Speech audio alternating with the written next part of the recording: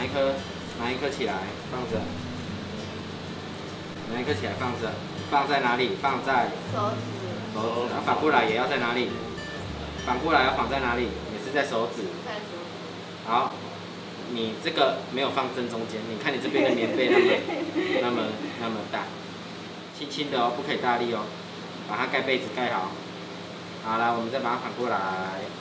之前大学时代在手语社的时候，老师有邀请我们去一个聋哑的协会，然后那时候我们第一次去接触聋哑人士，那时候大家都是在比手语，我们去那里表演，结果一进去，我觉得我好像不知道怎么跟别人讲话，因为大家手语我比的也没有很流利，就我在那边是一个相对来说是一个哑巴，就是没办法沟通。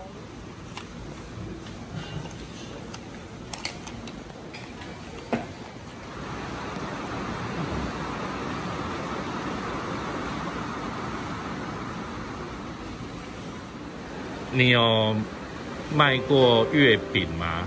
有。啊，月饼要怎么卖？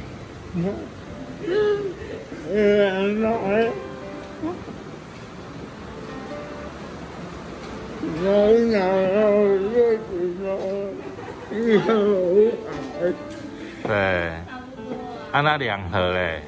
两盒一千。哦，厉害哦。啊，老板，那你若要打折嘞？嗯，打八折。我是一个正常的人，可是我在聋哑的协会、聋哑的人士里面，哎，他们都会手语，我不会手语，我就是相对障碍。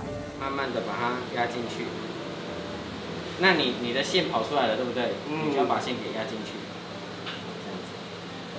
线给压进去，把线给压进去，然后我们把它，对，好，把它捏起来，用手指头把它捏起来也可以，这样子，用手指头把它捏紧，底部，底部要捏紧，然后不然烤的时候线会流出来哦。这样子哦。两万一，两万二，二月一。